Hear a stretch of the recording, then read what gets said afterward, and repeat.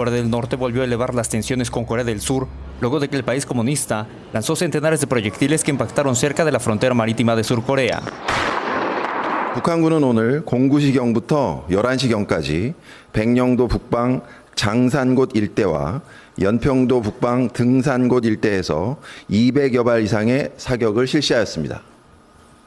이로 인한 우리 국민과 군의 피해는 없으며 탄착 지점은 NLL 북방 일대입니다. Aunque el ejército de Corea del Sur confirmó que la andanada de proyectiles norcoreanos lo impactaron en sus más próximas islas, los gobiernos locales emitieron una orden de evacuación para sus residentes, quienes acudieron a uno de los refugios en el territorio insular, mismo que fue utilizado el 23 de noviembre del 2010 cuando maniobras con fuego real de la Marina surcoreana en las cercanías fueron respondidas con decenas de rondas de artillería disparadas por Norcorea y que impactaron en la isla dejando cuatro muertos y 18 heridos.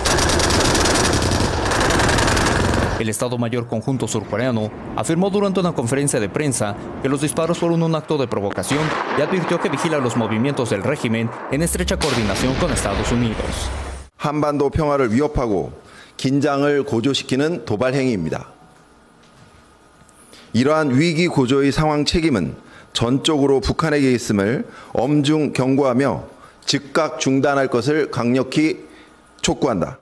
Más tarde, la respuesta de Corea del Sur fue el doble de lanzamientos de proyectiles de artillería con hasta 400 disparos, además de una serie de ejercicios militares con fuego real en las islas cercanas a la disputada línea de límite norte, la cual ha sido rechazada por Norcorea desde su trazado realizado por la ONU en 1953 tras la firma del armisticio, y que ha sido escenario de violentos choques entre los ejércitos de las dos Coreas con un saldo de más de 50 muertos en los últimos 20 años. Uri Arellano, Noticias, N+.